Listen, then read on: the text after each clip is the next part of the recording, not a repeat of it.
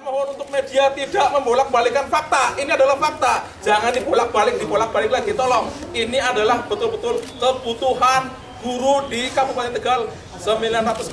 Tidak ada tawar-menawar. Setuju? Kami ini benar-benar ada. Kami benar-benar dibutuhkan. Untuk Bapak PJ Bupati yang tidak hadir, saya mohon lihat kami, kami ada di sini. Kami minta supaya kami dibantu. Dibantu seadil-adilnya, Pak. 940, saya yakin Bapak bisa membantu kami. Saya mohon, Pak.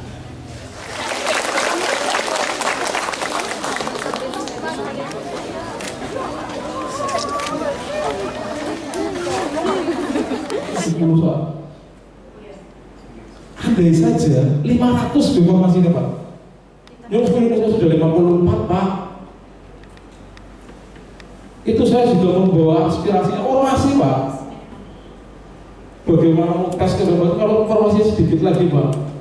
tuntutan hari ini. Hari ini? Tuntutan. Tuntutannya gimana yang sudah-sudah seperti dulu-dulu. Iya. yang kami minta hanyalah formasi aja. Itu aja. Udah formasi. Karena tahun kemarin tahun 2023 kan cuma formasi 365 jadi kami belum itu jumlah jumlahnya dituntut berapa formasi? Untuk tahun ini kami minta tahun 2024 ini sejumlah 940 940 di 2000 Eh, kebijakan apakah mendasari dengan adanya undang-undang ASN yang baru keluar Iya, kemarin ya per peng- eh, pengusulan ini kan terakhir kan tanggal 31 Desember. Iya. Eh, maaf 31 Januari. Makanya kami sebelum tanggal 31 Januari ini kami minta supaya kebijakan dari pema- pemangku kebijakan itu memberikan formasi sesuai dengan kebutuhan di lapangan yaitu sekitar 904. karena kewenangan formasi ada di kabupaten Iya, kabupaten karena kemarin kami kan eh, sudah ke Kemendikbud perwakilan Iya. Dari forum kami itu Iya. di sana itu kembali lagi dari pusat itu kembali lagi ke Pemda, Iya. ke daerah. Yang mengusulkan adalah daerah. kalau menurut penilaian eh, dari guru apakah keuangan daerah itu mampu Mampu, sangat-sangat mampu. Iya.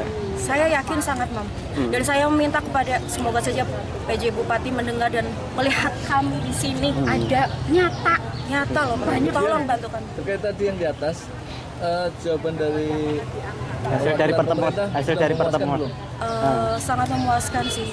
Kembali lagi katanya akan Ada ada eh, diskusi lagi, Iya. rapat lagi dengan PJ Bupati. Iya. Karena ini juga audiensi juga dari Bapak juga. oke terima kasih intinya kan untuk forum dalam forum guru itu kan menyampaikan aspirasinya terkait dengan untuk formasi tahun 2024 yang intinya kami sudah jelaskan secara kebijakan. Kebijakan untuk pengadaan tahun 2024 ini kan ada tiga jenis maksudnya ada ada guru ada kesehatan ada tenaga teknis. Kemudian terkait dengan regulasi nanti pengadaannya seperti apa itu kan kita masih masih menunggu regulasinya. Pengadaan biasanya kan nanti ada beberapa tahapan. Tapi terkait dengan formasi memang ada Kemenpan sebenarnya tahun 2024 yang mewajibkan daerah untuk menghitung APK terutama untuk pejabat pelaksana.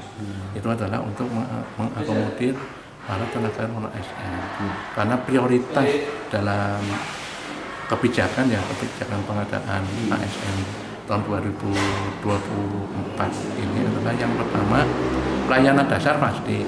Kalau pelayanan dasar bicaranya pasti guru dan kesehatan kemudian prioritas mengakomodir tenaga non ASN kemudian terkait dengan jabatan-jabatan yang terdampak transformasi digital. Nah itu dihindari sehingga misalkan mengusulkan ya pasti tidak akan terlalu banyak mengusulkan seperti itu.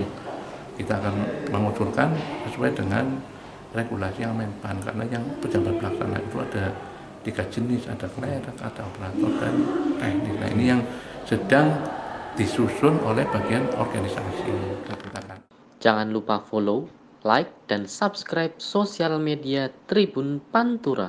Download Tribun X sekarang. Menghadirkan lokal menjadi Indonesia.